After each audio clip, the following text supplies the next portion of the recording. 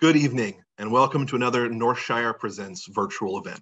My name is Davith Wood. I'm the events manager at Northshire's uh, Manchester, Vermont location.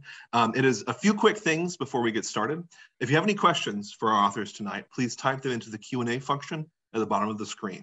I'll save those up and pose them for you at the end of tonight's event. And secondly, uh, just a note of thanks. Um, independent bookselling is hard in the best of times and um, we are still around because of your continued support and we um, we all really appreciate that. Thank you very much. Tonight it is my great pleasure to welcome to our screens jocelyn nicole johnson author of the acclaimed book my monticello a fiction debut that was called a masterly feat by the new york times. Which placed third on the time magazine's test 10 best books of the year. It won the weatherford award the lillian smiths prize the balcones prize and was finalist for many, many others, including a National Book Critics Circle Award, a PEN/Faulkner Award, and an LA Times Book Award. Johnson's been a fellow at Tin House, Hedgebrook, and the Virginia Center for Creative Arts. Her writing appears in Guernica, The Guardian, and elsewhere. Her short story, Control Negro, was anthologized in the Best American Short Stories 2018, which was guest edited by Roxane Gay and read live by LeVar Burton. Colson Whitehead calls My Monticello a badass debut by any measure, nimble, knowing, and electrifying. While Roxane Gay says absolutely unforgettable, Johnson's prose soars to new heights.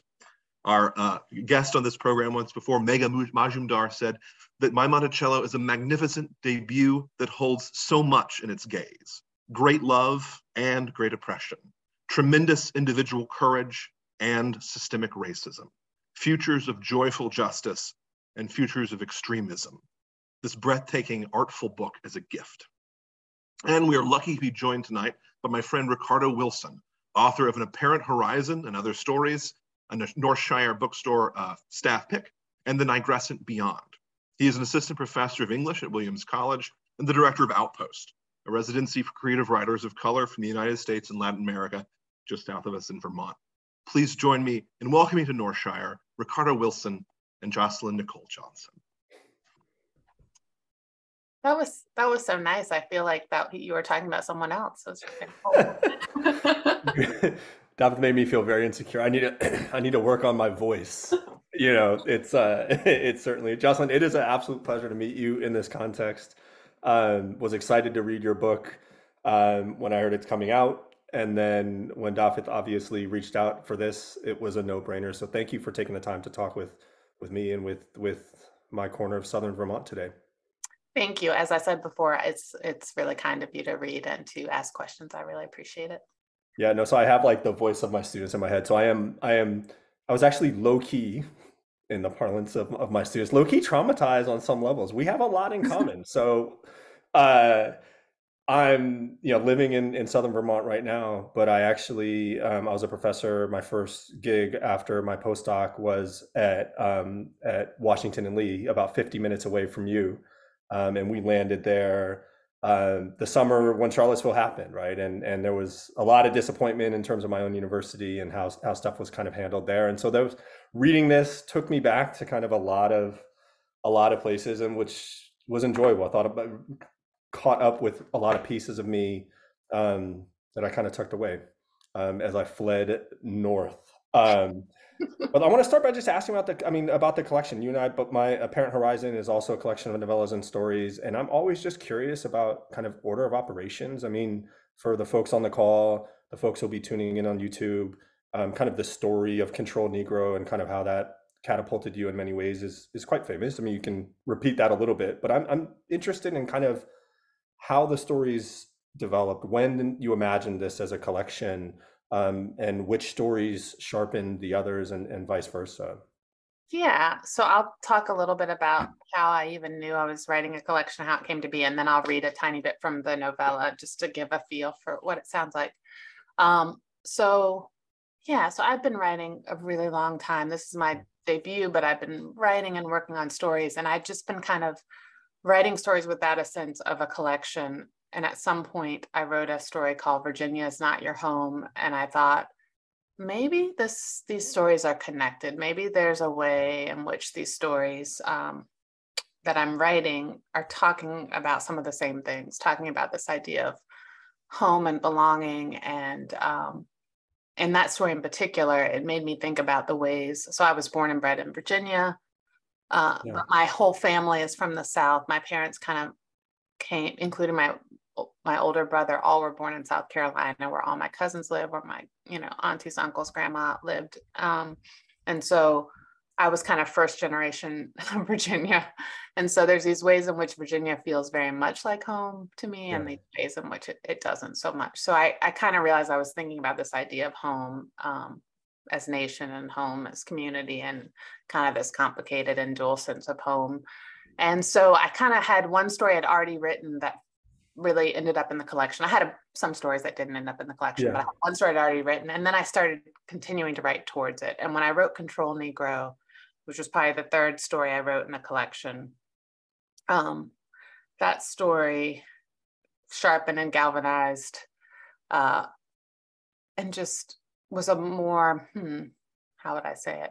It was kind of a little bit ripped from the headlines. I know they say don't rip from the headlines, but it, I was responding to something we saw that I saw in the actual world at University yeah. of Virginia. Yeah. Um, a, a black student being bloodied by officers and, you know, kind of creating this news this kind of flashpoint where people were thinking about what it means to be policed in your university and where someone's safe. And so the energy of that helped me to get, you know, an agent and so forth. But I'd already kind of decided that I was making this project of these these stories about really different Virginians Black Virginians in different parts of the state that I knew a little bit better and thinking about this idea of home and belonging. And then I wrote forward from there. So the other stories, um, Buying a House Ahead of the Apocalypse, Something Sweet on Our Tongues, those came afterward. And then I wrote the novella last. Wow. Yeah. And yeah. so one thing about writing the novella was because I'd written all the other stories, at least they were in strong draft forms, I ended up pulling all these sentences and ideas from other stories. So um, one one line in the novella is uh, about thinking about Thomas Jefferson's notes on the state of Virginia um, and how Black people who, even if you were freed in Virginia at that time, at some point when he was freeing his Black mm-hmm. children, you could be rearrested if you didn't leave the state. And so I repurposed that title, Virginia is not your home, yeah. from a story that talks about something very, very different to say, to talk about this thing in history. So I kind of, the novella, because it was last, I got to pull these little threads and to echo these ideas from the other stories in it. Yeah, no, I love this this notion of echoing. I mean, it is a dynamic collection and how they speak. So it's it's it's interesting to hear you say that. And I'll say the rip from the headlines piece is also interesting because it's um and we'll get into some of the formal choice, you know, without for the for the for the viewers and listeners kind of around here, without giving too much away. Um, maybe how you get into this formally, but it's just I was just so taken by how present and kind of everlasting the meditations were in this book and so kudos to you because that is like quite quite quite tough to to pull off and you do it beautifully um, and for me especially in my in my monticello. Did you know that was a novella from the beginning? Was there no i kind of um it's funny because i slipped that question in there but yeah. No please ask whatever wherever it goes i'm totally good with it. Um so the novella you know, I really love short, I do really love short stories and I've loved them since I was a teenager. I actually went to the University of Virginia used to host a young writers workshop and I took like a, this was a while ago.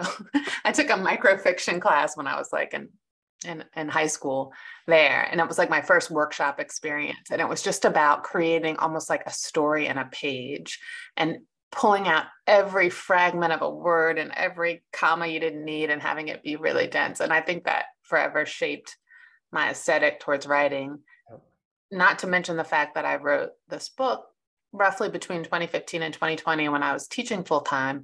And so I have to say, even though I've written longer things, I've written a novel before, I feel more it's easier for me. I really want to get stay in the moment of writing something. And it's hard to do that when you're teaching full time and you have you know your family responsibilities for me it's hard i'm yeah. sure people do it all the time for me it was difficult Amen. and so so it was nice to be able to draft something in a summer or get at least get a draft out even if i was going to work on it you know, for a year and come back to it and think about it and have my writer group read it. Um, but just to have like kind of the full first intention. And I think that's a lot harder with a novel for me. Yeah. Um, and so I think the novella started off as like just a long short story. And I just kept saying, it just needs a little more middle. Like I kind of had a beginning and an end, and I knew I needed to figure out a whole bunch of stuff in the middle. So I didn't even, even now, you know, in the, in the UK, it's published on its own as a novel or a novella. I mean, yeah what's you know I, i'm interested what you think the difference is because for me i do think there's some aesthetic things that feel like a short story in it yeah um, but i also think it's a slightly arbitrary like there's just the number of words you know there's long novels that could have you know what does that mean no absolutely i mean and part of my work i work on mexico and the united states and so you know in the latin american market um, it's not the easiest thing in the world but you find short a novel is novella, but like you you find short novels or fiction around that word length all the time. But like I think from a publishing perspective here in the states, there's just such an allergy to it, um, which for me is um, horrifying, maybe too strong, but just really disappointing because I think there's this gets back to like what is possible in that form, and I think you do it expertly here in my Monticello. I mean, I think there's and it's it's not funny, but interesting to hear you talk about um, this kind of flash fiction course that really kind of like got you th- thinking in many ways in terms of your and i think this word gets overused often but like the poetic nature of your own short stories right and you can certainly see that working there but there's a similarly uh, at the form of the novella i mean there's a compactness that's possible there's a thickness that's possible i think one of the things that i'm really drawn to about your work is how you push against notions of resolution. And I think because, especially in the U.S. market, um, we are so so so much less conditioned um, as to what to expect in a novella versus a novel. I think there's room for experimentation um, and buy-in from a reader that, that you see. I mean, John Keene is one of my favorite writers, and I think you're you're able to you know he inhabits I think that form quite well.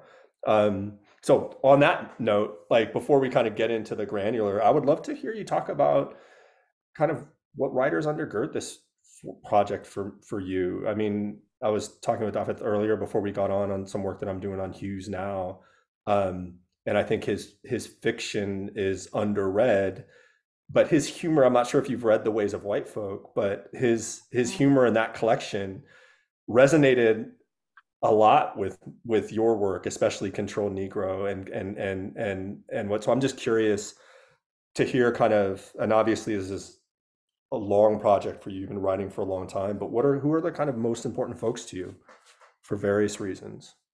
Yeah. So it's so funny because what you read so affects how you write, and I kind of read all over the place. I'm kind of all over the place in my reading. So there's definitely traditional like people that you hear a ton that are just were really formative for me, like Toni Morrison. It feels cliche to say, but for sure, I remember reading Beloved.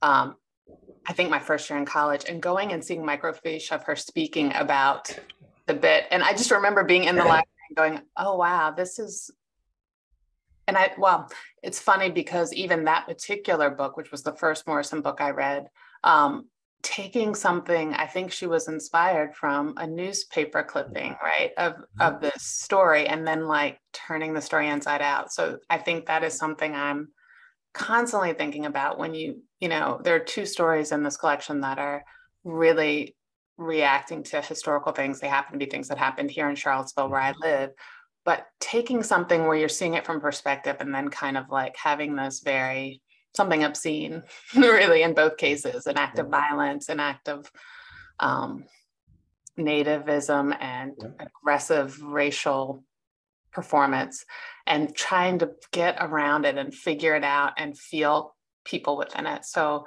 um, and having these really um, complicated interactions with it i think always really appeals to me. Yeah. Um, writers like Richard Wright, that line of like, I remember reading Black Boy. My parents had it mm-hmm. on their, their shelves when I was a kid, and just this kind of going into these poetics. It was the blah blah blah blah blah blades of like. I just yeah. remember saying, "Oh, that totally is interesting to me." Like having this narrative, this almost like memoir like narrative, but then having this these moments of flight that just show you the internal. I think I'm really interested in the internal world of readers and i'm often um, my partner laughs because I write, I, he's like, you write a lot of stories and nothing happens, but it's all like the internal things that happen. And then when I read the novella, he was like, there's things happening. I'm reading, there's a lot happening.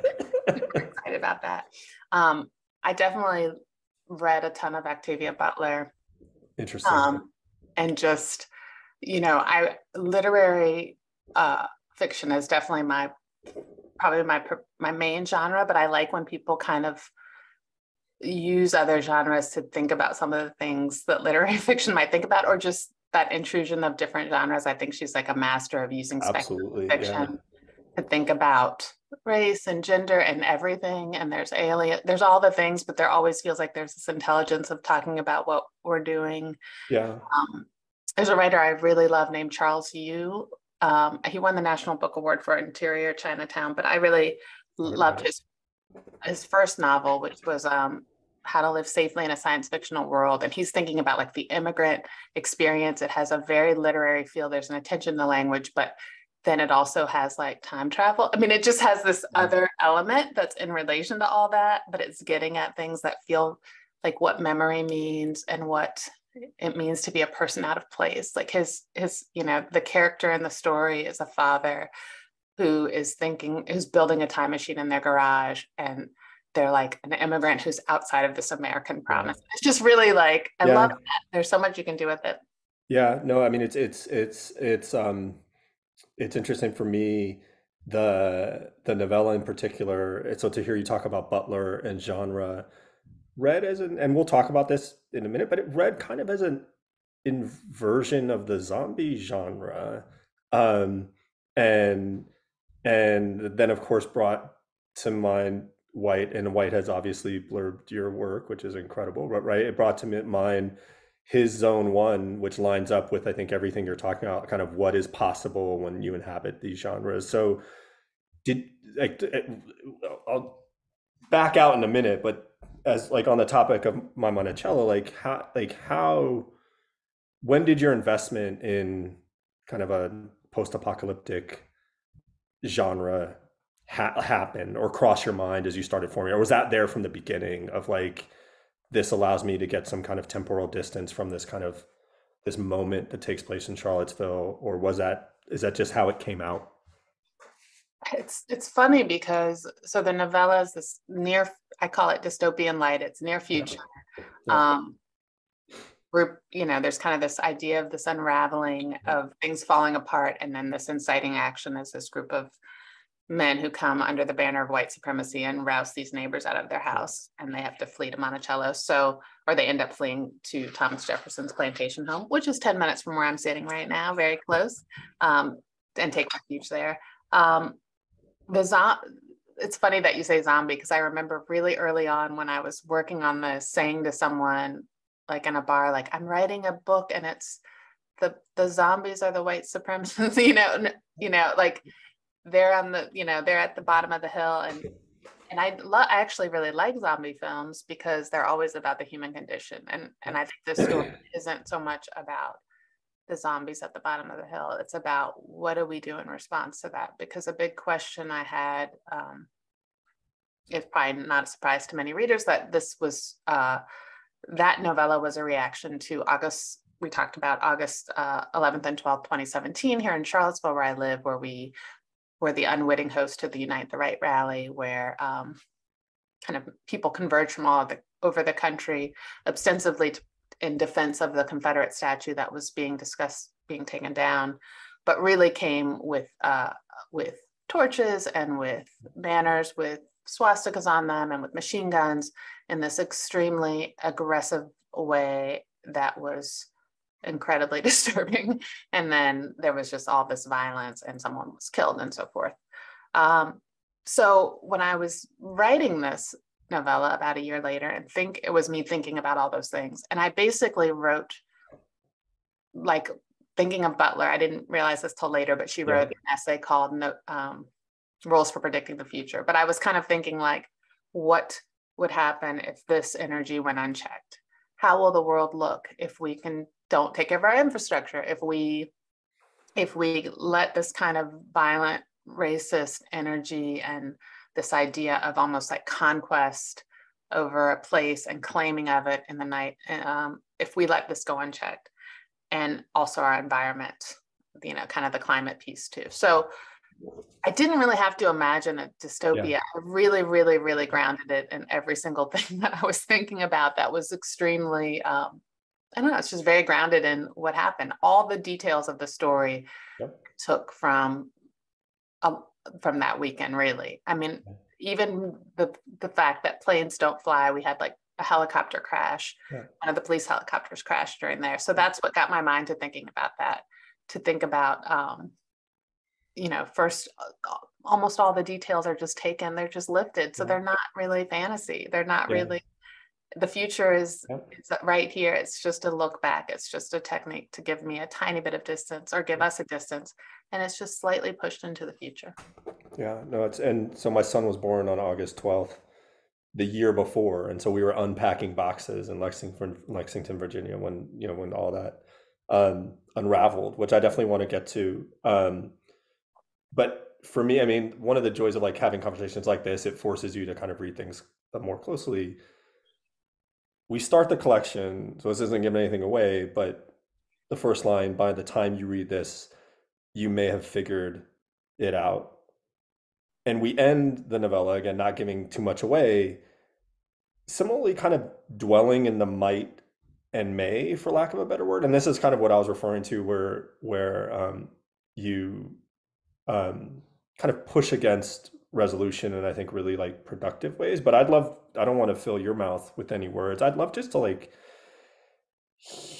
is that resonance on purpose between the, the, the start and the beginning? It feels like you leave a lot of, for everything you just said about these very real life events it feels like you leave a lot of space um, for the reader to kind of situate themselves into that but just your approach to the might and may of it all yeah if, I, if that makes any sense but i mean it's just struck, makes, it makes yeah. all the sense in the world i think that I had not, I definitely had thought about it with the end of the book and where the book ended.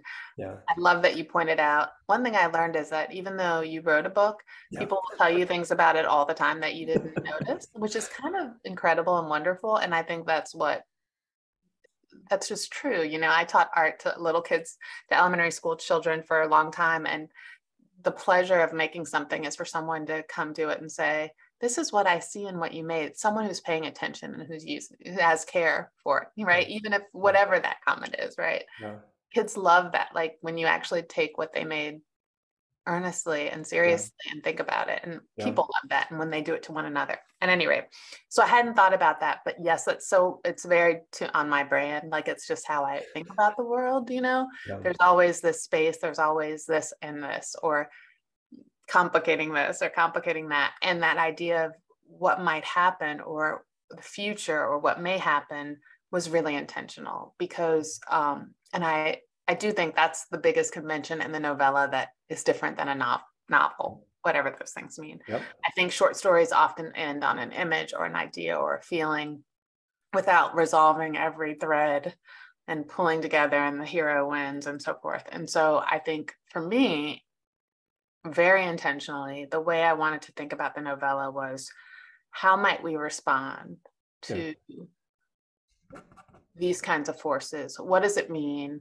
And I wanted to leave it to the reader to to have the last action because yeah. you know we know that this novella you know pits this group of neighbors up on the hill I would say against, but in contrast yeah. to these yeah. the zombie white supremacists down with their mm-hmm. torches coming up. And so what's gonna how that battle's gonna end is largely up to us, um, to the readers, right? It would be, I think, silly. I've said it before, but I really do think it would be silly to have the heroes win and white supremacist ends and we close the book and everything is great and we go on with our day. I think it makes much more sense to think about um, what do these things mean in the actual real to leave us thinking about these characters as a symbol for how do we want to be in the world and what do these things mean in the actual yeah. world it sticks with you so you've done your work there i mean it certainly sticks with you um, you can tell folks listening like i am drawn to, to the collection but certainly to the novella do we have time for you to maybe read a small portion of it for yeah us? Yeah, I will read a little bit um, I think I'm gonna read, I, I often read that first, the first paragraph, but I'm gonna, I think I'm just gonna read just a little, just a page or two in. Um, Okay. And again, we have, we have a character, Da'Naisha Love, who's speaking from Monticello. And she's describing how they got there and describing their days on the mountain. She's describing that first day. When these people come into their neighborhood violently and start setting fire to homes and she's forced to flee in this small bus with the group of people, her grandmother, her boyfriend, uh, her white boyfriend, her mostly black neighbors, and just a mix of people. That was the night we came and claimed this place, if not first exactly, then first since this dark new unraveling, when everything's been set free again, at least the way I see it. Not to mention our original due, denied, dismissed, but still there teeming in our blood, at least in my violets and in mine. The men came with the men with fire came in the wake of great and terrible storms that felled historic trees and flooded City Hall. They came after the power failed us and our phones went glitchy and dark in our palms. In those moments just after our cells all crashed, I witnessed a jet and a, and a, and a hospital helicopter both plunge from a rainless April sky. It was unclear if we were under siege or whether the world was toppling under its own needless weight. In those surreal and collapsing weeks, brazen hordes of students refused to leave our university.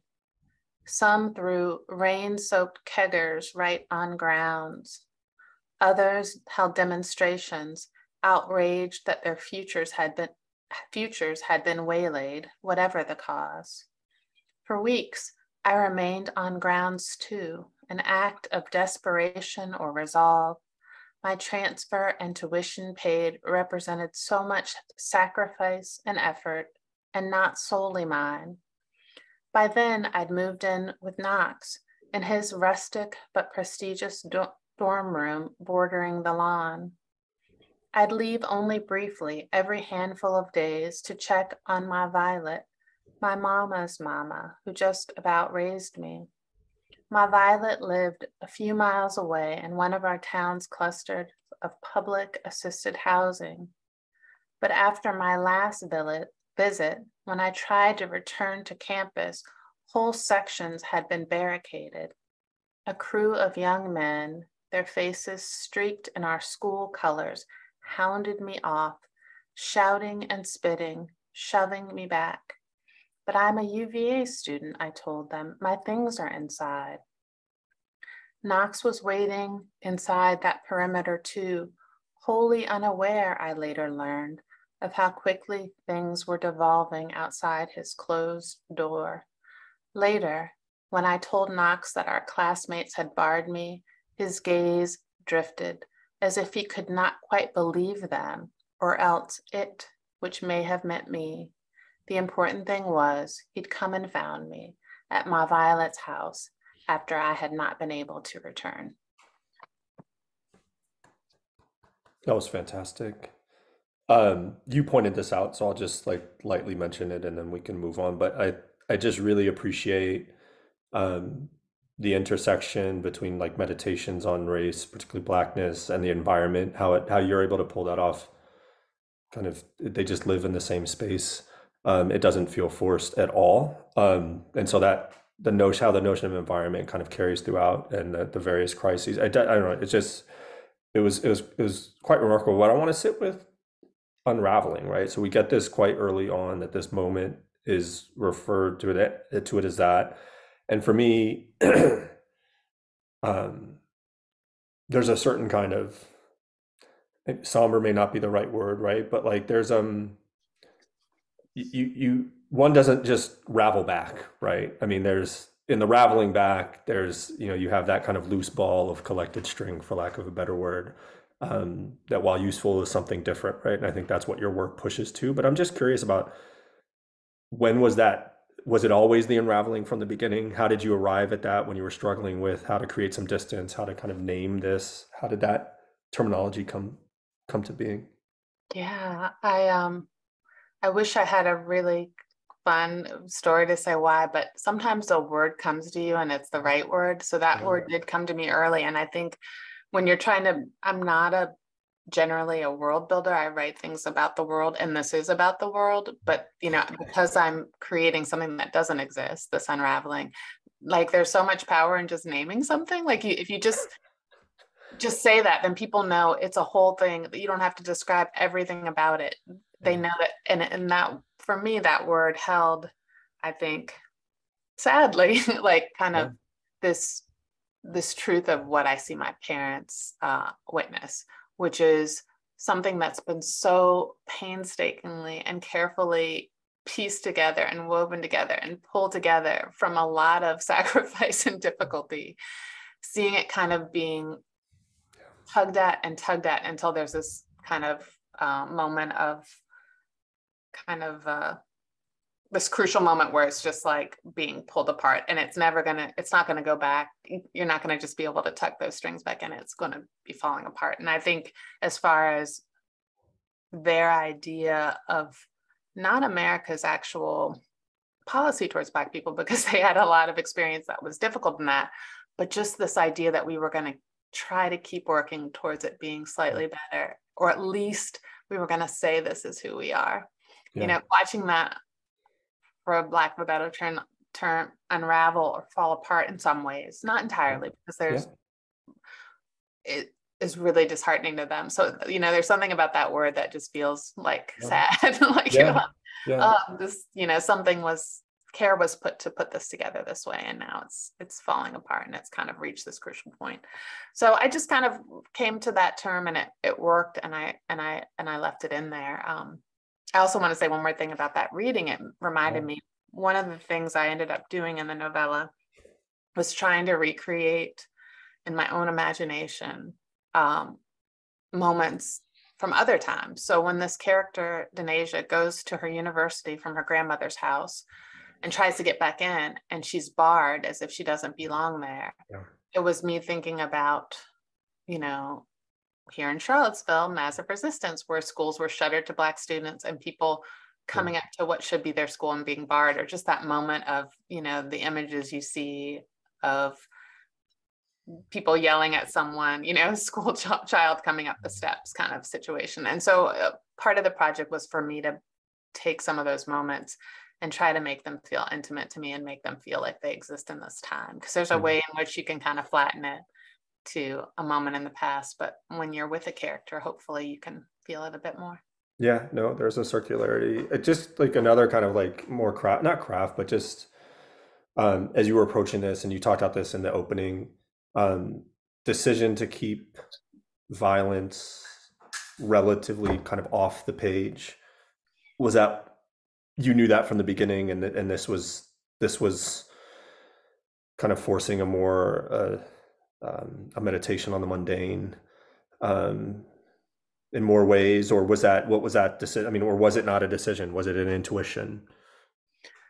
I think that I mean there for me this is like this is a lot of violence for me. Yeah. yeah. yeah. because you know we do start with images of people being yeah. hurt and we we see you know that's the beginning of the story and then you know we have a reprieve and we definitely have this play like you know but then it kind of comes back and we see not only just violence in the moment, but we see the result of violence, like later when a character comes up now and we see what that would look like.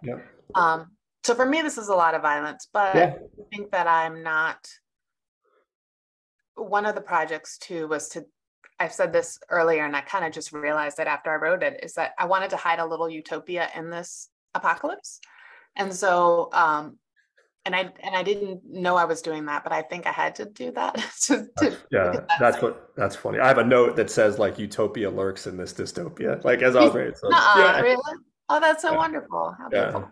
So I think that I wanted to think again. I was thinking, how do I respond to this obscenity of. Unite the Right and to this movement? How do I respond to that? And so the ways so my characters were trying to respond to that right? They are literally refugees out of their homes so they're thinking what is our community going to look like that's different than the force that's coming for us? And so yeah. their their their community and has all you know it has has this huge feminine power. There's these female leaders in it. There's an emphasis on growing things. So you have the garden you have all these ages of wisdom. You have even the men who are there there's just compared to most stories of violence and conflict, there is a, a an attention, a care, and a focus on women, yeah. and and on the on feminine power. So that yeah. was one.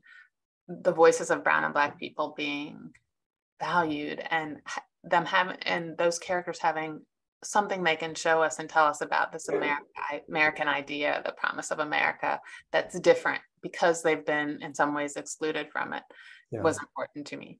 Um, so I think because I was focusing on those things, it it takes some of the space away from like a huge battle scene, if that makes sense. Yeah, no, absolutely. I mean, it structures it. I mean, that was not what I was getting at, but yeah, like absolutely. But this again, focus, like you said, on the on the the result. And I would add to that for those who are listening, that kind of the attention to the intergenerational conversations, I think, is also um, quite fascinating. Before we open up to Q and A, I've like kind of you know, for me.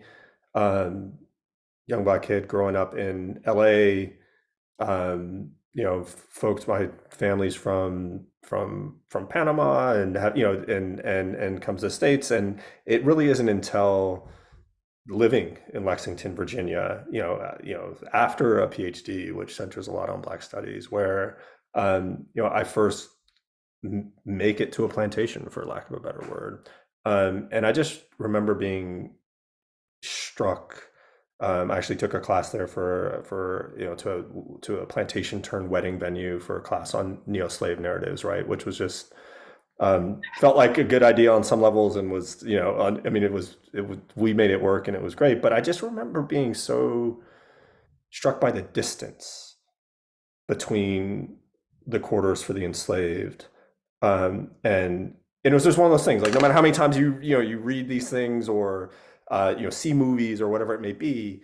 Um, I, I, to this day, just just the, the distance and everything um, that that signified for me is just as like kind of stuck with me. And so just think out your own. And I felt that you know on the Mulberry Road and the you know and the the, the, the conversation that goes. I think you painted that well, but I don't I don't want to push you in that direction. But you know, family from South Carolina you you know born and raised in northern virginia right and and with the proximity to the south that's much closer than my you know that than mine was.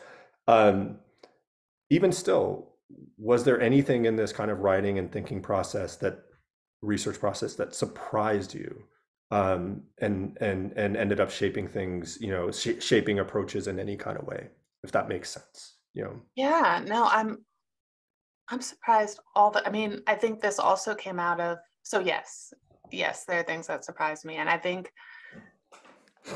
it's the experience of going to monticello living here i've gone here m- multiple times for various reasons including with my my whole black family like family reunion like with the matching shirts like we went to monticello.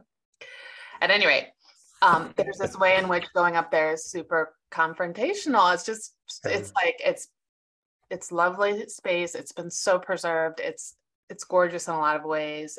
Jefferson, you know, there's all this emphasis on the brilliance of this person. And then they're, and then you're like, and they're like, this is where the little black boys made nails. And it's just like, yeah. what is said, what isn't says, everything about it. And watching the story change too. The story has changed at Monticello. When you go there now, no matter what tour you take, there's going to be more emphasis on enslaved people than there was when I went there 20 years ago. Um, but what I noticed was in the year after August 12th, before I really started writing this, um, 2017 to 2018, I went to all these events about Black communities in Charlottesville because our town was attending to that and like there were all these things presented.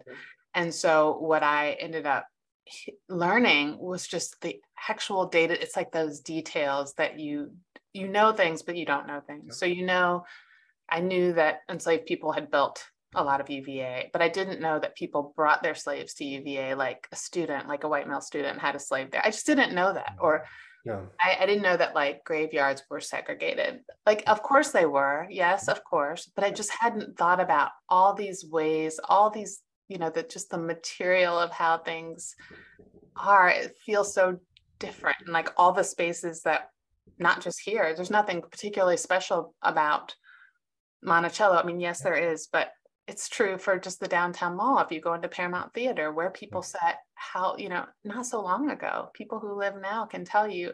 And it's just, I think that there's this like haunting that we have, and it would be fine.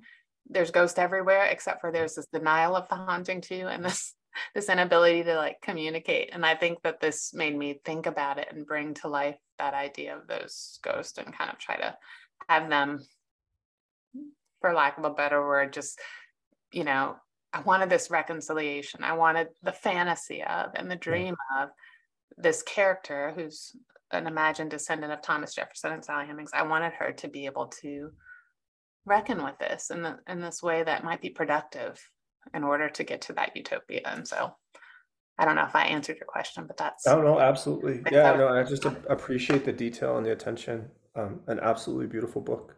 Um, let's move to the audience and see if Yeah. questions. Uh, thank you both so much. This has been Yeah. fantastic this evening. Um, yes, please, if you have any questions, please type them into the chat or into the Q&A box, and I'll be happy to pose them for you. Um, but jo Jocelyn, I've got a question for you. Um, tell me, is a little bit about your writing process. Is there something that, um, you know, you what was the best thing that didn't make it into the book? Oh my gosh. Well, I put you know, I'm what I'm really excited about is when I went to go sell this book or when my agent and I went out, we were like, we could do the novella by itself, we could put it all together. And we ended up putting it all together how we thought it should look, but we kind of went to editors and said, What do you see in this book?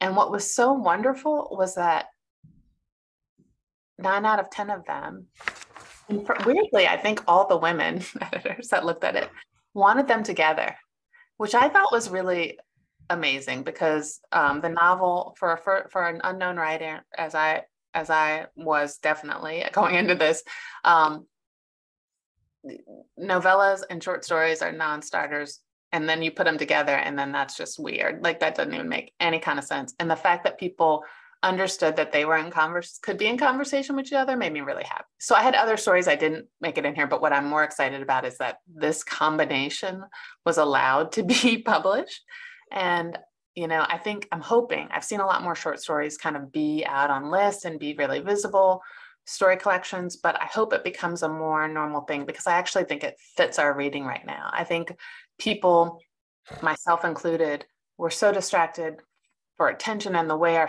attention spans are working. I think stories can be really nice because you are in the world of the mind of somebody, um, but it's in these bits that can be a little bit more um, manageable time wise but still are in conversation with one another. So you're getting kind of a deeper thing than if you just read, you know, a paragraph here and a TikTok there. You know, there's something about it. It has both. It has that connection to each other and also this brevity in this space. So, so yeah. Thank you. I, I think I have. I, I think I'm witnessing at the bookstore a, sort of a, a, a sort of a, a, growingness of the of the short story. It seems to be selling better and um, seems to be more successful uh, than it was in the past. You know, the, the sort of the inherited logic was short stories don't do well, but um, I think it's been changing in the last few years. And I think you're right about our attention spans. Um, Thank what's- you. Do you want me to read a tiny bit from another story just for please, that would be wonderful. just for one thing I also love about um, short stories and in this collection I did this is that you can have really different point of views. So I have like really different characters. One story is in the form of a letter from a father to a son. One story is in the form of a list, which I'm the queen of lists I love a list, a good list, a good complicated list with a post-it on it and then another list on that um, you know, and the story I'm going to read is the title of this collection used to be Virginia is not your home. So I'm just going to read a paragraph or two from from that one, and it's in you know second person you. It's like someone telling themselves, someone who's really dissatisfied with with their name, where they're from, this idea of longing. In college, I knew people were just like, call me Rusty now. Like they just changed their name one day and you just had to like go with it, or you didn't have to, but you just did. It was so I, I'm always fascinated by that desire to want to change. Virginia is not your home. They hung that name on you at birth, but Virginia was never your home. Read Nausea by Sartre and give yourself a new one. Trumpet your new name to the liver spotted washroom mirror like a coronation. Gape your mouth, then angle your tongue behind your teeth. While you're at it, work to remedy those other afflictions, that fetid high heel R that has planted itself in the middle of words like wash. Scrub the stink of manure from your clothing, and while your young body churns over the basin, keep whispering your new, still secret name. Believe that if you can just change this, you can change everything. I'll stop there but yeah, so just really different. I love that about story collections, especially when you, you know, writing about in my in this case it's all black characters, but they're super different from each other. And I think that sometimes um in a terrible way, people expect one story from whatever the other they think the other is, whatever they think that is. And we've heard that story. I've heard the story of the black man. Like that's ridiculous, obviously. But I think in a collection, it really, really emphasizes that because you have one story next to another, next to another, and one voice and another voice and contradicting voices. There's the the um, possibility of just really quickly and succinctly dispelling that because you know surprise it's all my imagination i'm just one yeah. person and there's you know so many other voices out there. Yeah, they has the possibility of like a, a, multiplicity of perspectives compared to the novel, which is sort of more monofocused, some traditionally. Um, can you tell us a little bit about your um, writing habits, Jocelyn? Yeah, of course. Um, what are my writing habits? Well, when I was writing this collection, I was teaching full time, so I really tried to write in the summer, um, in the summers. Uh, but now I really do try to write in the mornings before and I, the reason i'm look like this is because i'm failing right now. I'm telling you this but i'm not actually doing it right now. I have a fantasy. I had a, someone i think told me this like a writer was like yeah i write i mean i don't get up at five. I'm not going to even pretend. I'm that's just not me. But but even writing like after i drop my teen off at high school. He drives me now. And then even between that and like lunch, just having this chunk of time, it is helpful to do it before I think about social media, before I open my emails and worry about what's happening. I find that the world can really pull you away and having some like kind of a dedicated space really can be helpful. But I think the truth is going to be for me, even now that I'm not teaching full time, is that I'm going to create these moments and pockets and I'm going to go to hopefully back to Virginia Center for the Creative Arts and have a week there. And I'm going to like rent another weird hobbit treehouse off Airbnb and go there for four days away from my terrible dogs that bark all the time. It's like I think I'm gonna be a writer in fits and starts even now, at least for now, because life is so um, distracting and I like that. And I'm gonna try, I'm trying to figure out a way to make that work for me because I think there's something interesting about life intruding, but I do think you need space and time. Um, I don't know, Ricardo. What about you? Do you have that experience? I mean, no. Yeah, I mean, I'm with you. It's like the fantasies kill me, um, you know. But no, I mean, I'm teaching, um, um, you know, full time, and and and and so it's it's tough to cobble together time. I mean, summers are super valuable for me. Breaks are super valuable to me. Um, I find myself note taking a lot during the year. Um, but yeah, no, it's it's you know, with two kids, I mean, life is life. Um, but I think for me, I never, um, I kind of just accepted that from the beginning of like, I'm I'm not the bookie. I'm not the Spike Lee of of of writing. I'm not the book a year guy, and that's just and I like stewing on things and I like reworking things and I love the process of revision and so that kind of stuff is a lens to the fits and starts but you know it's it's a always the trick for me is in those free moments to kind of be able to ramp up that discipline um, is always the trick but yeah it's it's a challenge it's a challenge. I won't ask details but are you excited about something spilling forth? I am I am I am excited um I am excited about something. I have like a couple I have one thing I'm working on, and then I have all these ideas. I'm I've been so busy lately, and I do think that when I'm very busy, I actually get my best ideas. When mm-hmm. I can't write, I have this tension, and I'm like, but it's like this feeling of like, oh, well, this could happen, or maybe this will work. I'll start to come up with solutions.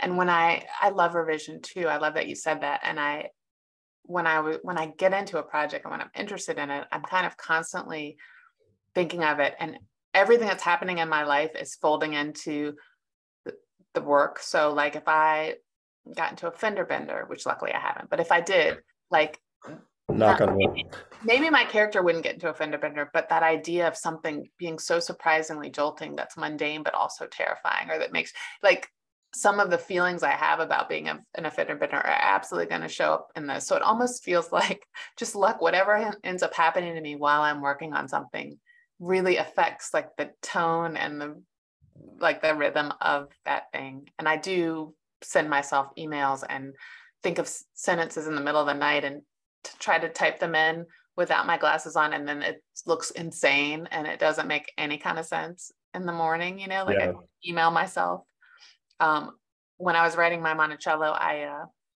was teaching full time and my last name is johnson and i was teaching at a school called johnson elementary and so if i put in johnson sometimes it would go to all staff like the entire staff of my school. And i'm writing like a dystopian race war book. And i'm like sending like a sentence that goes to my whole like there were a couple close calls. luckily i don't know what they would have thought of me honestly. Luckily mm-hmm. nothing too bad went out but i did have some weird luckily my gobbledygook made it unintelligible and i just wrote an apology and it was all good but That's funny. I learned a lesson. You shouldn't uh, you shouldn't all send to your staff a sentence from your from your dystopian uh, book about Sally Hemings and Thomas. Yeah. Yeah, I try to be responsible with my electronics and so I'll try not to sleep with my phone, but it just turns out to like if we're watching TV, I'll be I'll like beg my wife to text something or I'll sneak and grab her phone in the middle of the night and she'll wake up in the morning and be like, "What is going on here?" No, it's a ter- you're much smarter not to have it there.